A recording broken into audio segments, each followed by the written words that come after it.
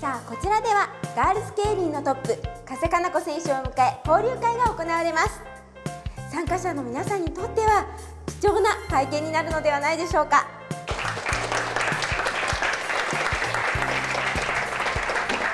皆さんこんにちは加瀬かな子です。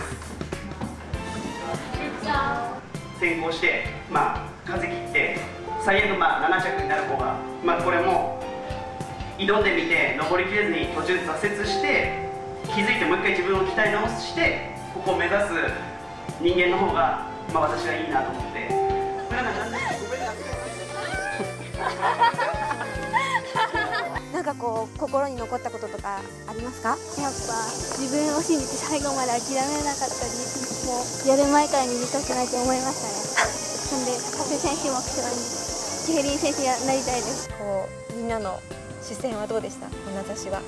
やっぱ可愛いですね。はいまあ先行で逃げ切ってみたいなとか、まあ何でもこうチャレンジしてみたいなとか思ってくれる子たちが増えるといいなと思うんですこちらは自転車トラック競技初心者や未経験者が中心の C グループです。いわば可能性を秘めた原石の皆さんです。え参加してみてどう？めっちゃ楽しいです。楽しい。完璧もうねレーサーって感じだけど自転車やってた？と2歳から乗り始めて今までやってま2歳って普通三輪車だよね。すいや補助輪なしで。補助輪なし？乗れるようになりました。鍛えは強くなっていくから、レースとかやるとこの前は勝てなかった子とかに勝てるからそれはすごい嬉しいからなんか続いてます。うんと自転車続けたいけどもし走れなくなったりとかしたらトレーナーさんとかになりたいですちっちゃい時からお母さんの仕事を見ていてお母さんも看護師なんで看護師になりたいと思います。お看護師。すごいね自転車乗れる看護師。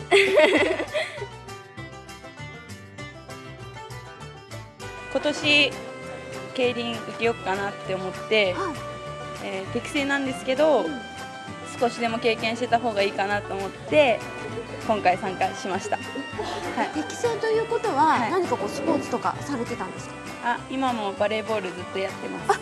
バレーボール、ちょっとやってもらいたくなっちゃった。ちょっとちょっとバレーボールの手前を見たいですね皆さん。見たい？見たい？はい。はい。はいまずは今年絶対入学して卒業して加瀬さんのようにトップのレベルで戦えるような選手になれるように頑張ります。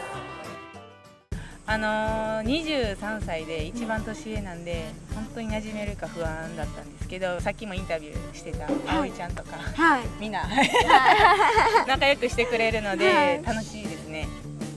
憧れというかもう身近に競輪っていう種目があったので、あとはあの強い選手の方とかともご縁があってお話しすることとかもよくあるのでそれで、はい、かっこいいなっていうのはあります。楽しいです。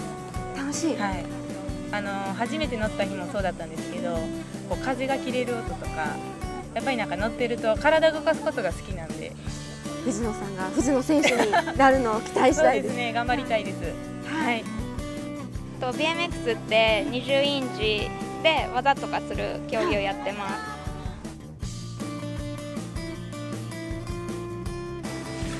エアリアルエアになりますよ。リアルエアでいいです。皆さんあのここに自転車あると思ってくださいね。20インチの自転車あるんですよ。大丈夫？あ見える？お見えるよ見えるよ。で前輪だけで乗ってます今。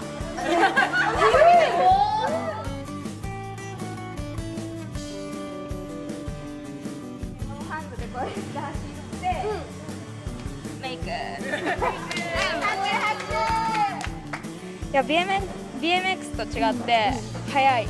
はいスピード？そうスピード速いもんが好きやから。うわ超速い何これ超楽しいみたいな。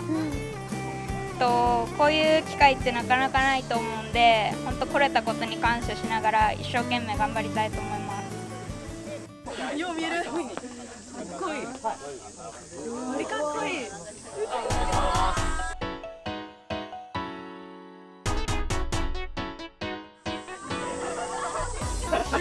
もいいですか？いいよ。足普通じゃない。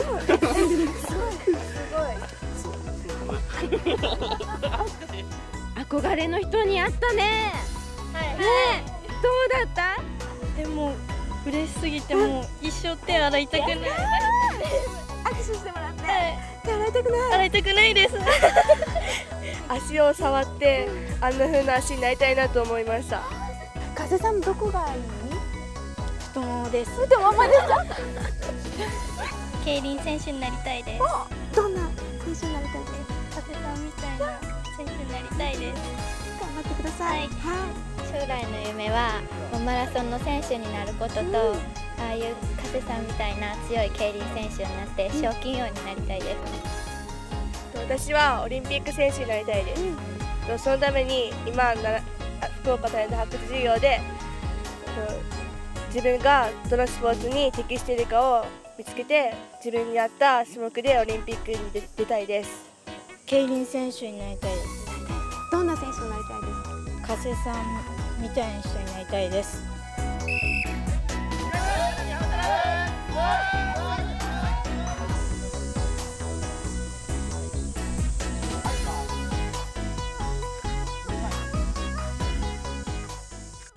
見てください。こちら。本格的な計測器の数々。実は今から日本代表チーム松本人志総監督の見つめる中実力チェックが行われます。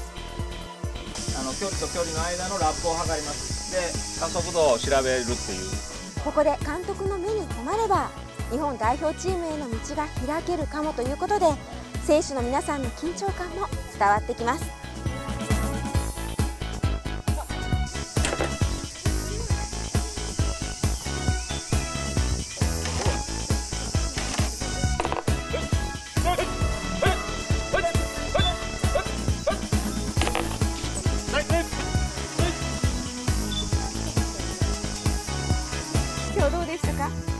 とても緊張しました。全部5メートルずつかな。自分のそのタイムが測られて普段ではわからないようなことも分析されてしまうので緊張しました。まあ自分が走れる全力の力を出したと思います。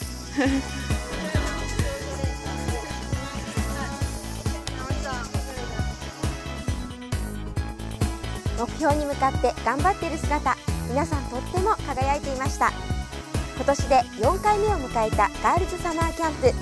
女子選手たちのステップアップの場として根付いているように感じています。ガールズケイリーで世界で将来の彼女たちの活躍が今から待ち遠しいです。